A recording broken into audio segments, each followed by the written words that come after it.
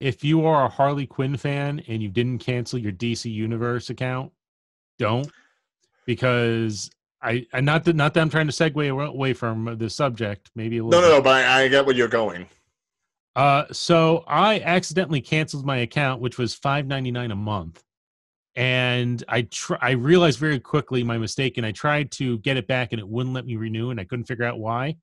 It's because they raised the price of DC Universe. It is now seven ninety nine a month. So be careful of that. You might They just raised the price. yeah, it's now seven ninety nine a month, which is weird because you know HBO Max is about to come out.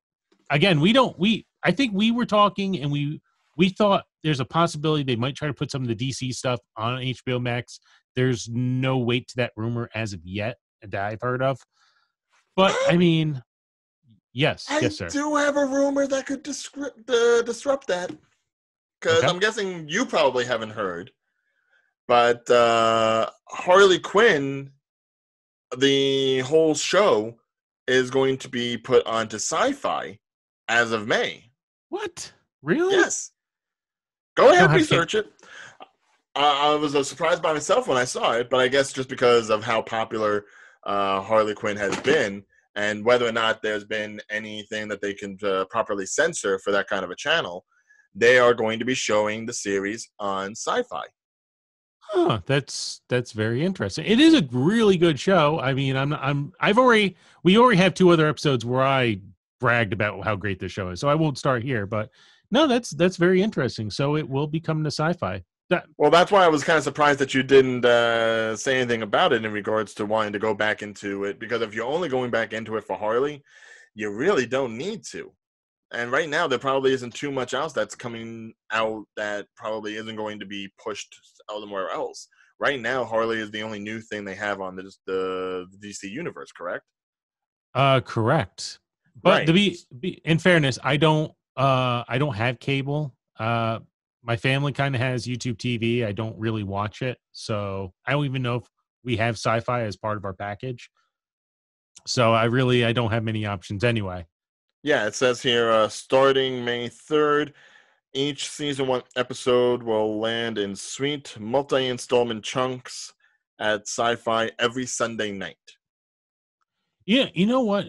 You know, again, I it's funny with this podcast, I'm almost learning as much as some of our viewers sometimes because you're passing on information I hadn't heard of. And the most interesting thing I've been finding in a lot of this, especially with HBO Max and Time Warner, man, they're making so many deals with other companies because uh to give Harley Quinn to Syfy Channel, essentially Warner Brothers is allowing one of their shows to play on a Universal channel because Syfy is owned by NBC Universal.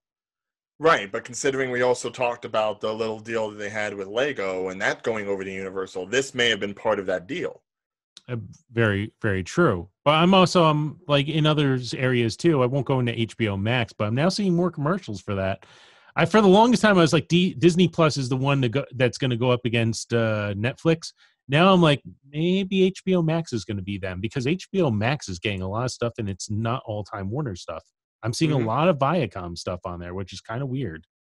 Yeah, I mean, going back to anime, I know at least Crunchyroll has an agreement with them. So, I mean, that's going to be one thing. And I well, guess, remember, Crunchyroll is actually owned by uh, Warner Brothers. right. And I guess also Rooster Teeth, all that other stuff that you get on VRV. So that's kind of like the counter programming. If Disney decides to stick with their Hulu arrangement with Funimation. So you're going to have like these two big things competing against each other. And that's always been a weird, weird thing. Remember, uh, VRV, uh, Funimation was on uh, VRV, and then they separated because I believe Funimation is now owned by either Paramount or Sony. I can't remember. Or cl- Hmm. I know it's another big one, and now I am going to look it up, but I'm going to keep talking because I don't like dead air. Um, Dead air, what's that? dead air. So, uh, I, so I'm really excited about all this stuff, but yeah, Warner Brothers is weird. Warner Brothers, like, it. I was talking about this earlier with like all the stuff they own. I forgot that they actually a few years ago they started collecting all these other little things like Crunchyroll and Rooster Teeth. Actually, Rooster Teeth is the combination of a ton of stuff. I in fact think Crunchyroll fun, falls under the Rooster Teeth brand. Right. But- Well, that's how you got something like VRV, where it's like an all amalgamation, which also has uh stuff from Cartoon Network, stuff from Nick Splat. You know, Right. I know we're now we're going off topic to what was originally planned. by the way, uh, to episode. answer your question, uh Sony is majority owner with uh, yes, okay. ninety-five percent of the company. So that's the so I think like Sony and Time Warner don't want to agree on stuff. So unless Sony comes to some sort of agreement, you're probably not going to see a lot of Funimation stuff uh, in association with. Well, where where did you say that was going to go? Well, no, Funimation has to work with Hulu, which is a Disney oh, property. that's right. Yes, yes, it is. Did So, Comcast? I mean, we talked about this on that epi- Studio Ghibli. You know, they have their anime side of the world. wait, wait, wait. But we talked about this in another episode. Did Comcast actually sell its uh, stake in Hulu? Oh yeah, yeah. No, the, okay. the Disney is definitely Hulu owning. Uh, no, Hulu is definitely Disney owned. Too Okay. many companies. Yes. Ah, They're yeah. slowly come, com- coming together, though, aren't they? And it's a scary But thing. basically, the big battle is between Disney and Warner Brothers. yes. And then Viacom is kind of like I don't know what Viacom's trying to do. They were trying to build up that CBS Access brand, which, by the way, uh, from my understanding, is before that uh, the uh, former CEO of of uh, CBS got caught in uh, another case of. Ah, Say it. I'm trying to remember the word. Uh, me too. So yeah, he he he. Oh, got accused- allegations. Yes, allegations. But he did get he ended up either stepping down or getting removed from the position. He was the big head honcho who was kind of keeping CBS and Viacom separate. And once he was removed, Viacom went all ours now. Yes, yes, So I yes. So I don't know what's going to happen to CBS Access, but Viacom otherwise is like just throwing their properties at everyone. So, like I said, uh, South Park is going to show up on HBO Max. Uh, Nickelodeon is putting a whole bunch of stuff on Netflix. If you are a big fan of Avatar and uh, you don't own the series on DVD, get a Netflix for the next month or so because all the episodes are there. It's I, I don't know what Viacom's plan is. Are they just going to ride as a third party to all these other streaming networks? Look, it's like the Wild West, man. It's like whoever can shoot first shoots best.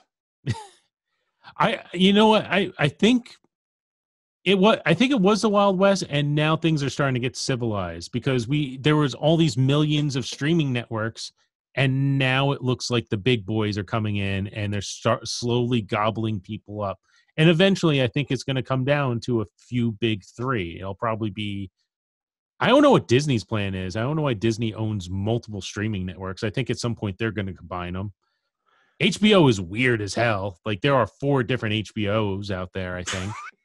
like HBO Max, HBO Go, HBO On Demand, HBO Now. Like why are why do you have so many different services?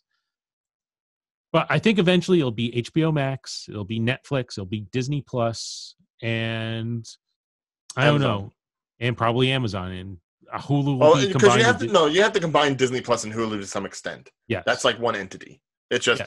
there's the family friendly stuff and the not so family friendly stuff.